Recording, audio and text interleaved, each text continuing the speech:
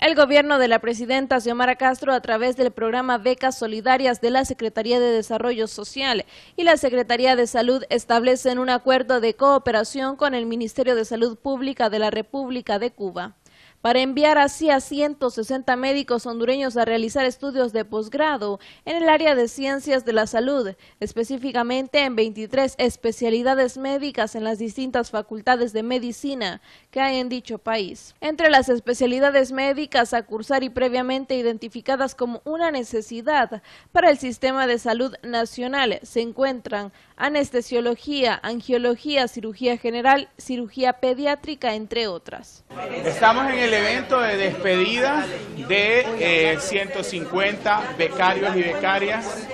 del programa Becas Solidarias que van a estudiar en, la República de Cuba tras un convenio que logramos hacer con eh,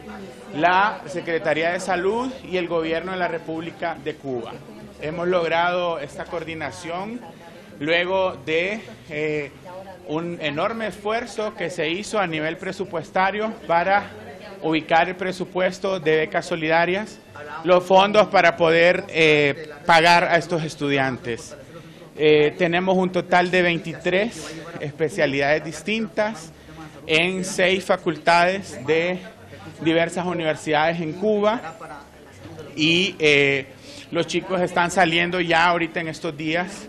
y como gobierno pues estamos muy contentos con la ministra acá que nos está acompañando para poder hacer eh,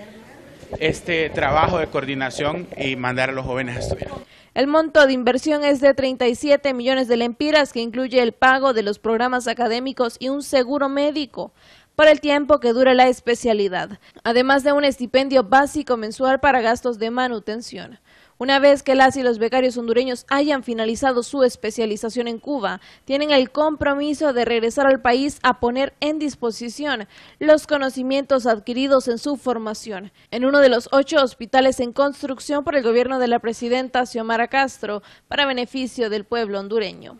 Décadas de no eh, observar a tanto joven con tanta ilusión viajando a cumplir una parte de ese sueño de vida que es la especialización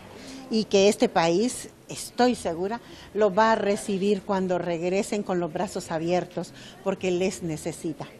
Esta alianza entre eh, Cuba, Cedesol, que es quien está eh, proporcionando el financiamiento, y salud, es, eh, es histórica. Normalmente estas cosas se hacen de manera individual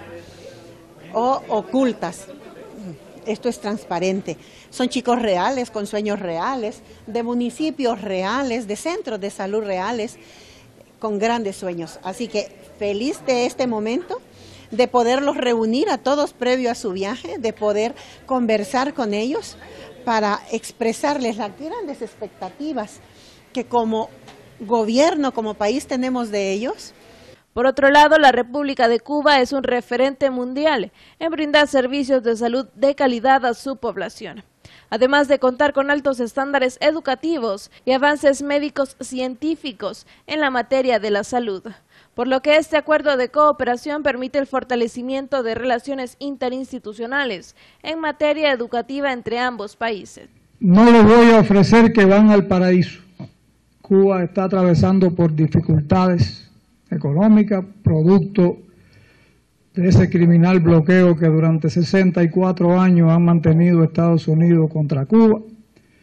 Van a haber quizás más dificultades, los que estudiaron allá van a ver quizás más problemas de lo que vieron en su momento, pero nuestro sistema de salud se mantiene intacto.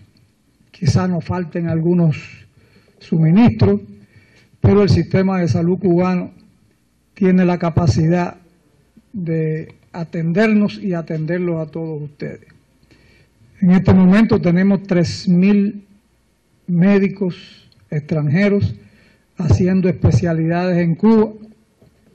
La Sol, a través de su programa Becas Solidarias, avanza una vez más con el otorgamiento de becas internacionales para fortalecer los estudios de las personas becarias. De igual forma, la CESAL, como ente rector de la salud en el país, seguirá trabajando en la formación profesional y fortalecimiento del sistema de salud en Honduras. En cámara y edición de Osvaldo García para Noticias Noticeis, les informó Rocío Urbina.